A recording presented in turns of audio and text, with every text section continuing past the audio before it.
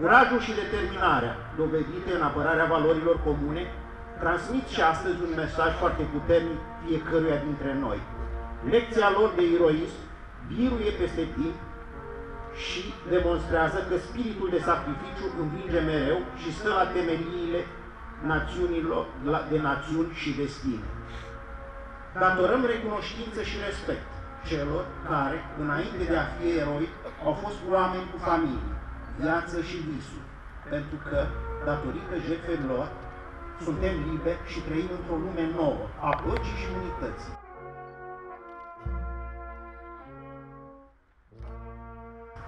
Acest moment comemorativ are și o dimensiune educativă pentru tânăra generație, pentru întreaga societate. Conștientizăm astăzi valorile și convingerile înaintașilor, mesajul și sacrificiul lor și avem obligația de a-i lăsa să se să, de a nu-i lăsa să alunece în uitare. Memorie eternă eroilor noștri.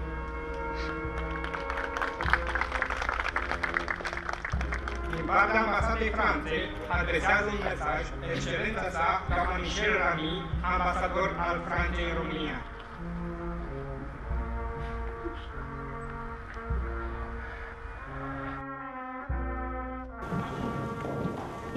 Salutăm și prezența domnului prefect la unirea noastră, la ședința noastră.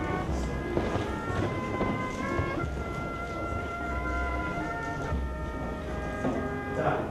Uh, Motivul pentru care am cerut acest, uh, această hotărâre de Consiliu Local nu este pentru ca să modificăm organigrama sau pentru că n-am avea trecut în uh, regulament așa ceva, ci pentru că hotărârea 3, normele de aplicare a legii 331, adică hotărârea 301, la articolul 17 aliniatul 3, scrie servicii, poliția locală sau serviciile publice destinate asigurării bazelor obiectivelor de interes județean asigură servicii de pază a obiectivelor, bunurilor și valo, valorilor de ori a transporturilor de valori, bunuri și hotărâri stabilite prin hotărârea Consiliului Local sau respectiv județean. Deci trebuie o hotărâre în sensul ăsta.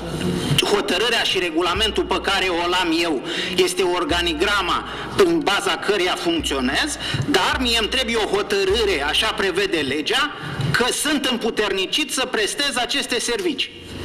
Deci, sunt două chestii diferite.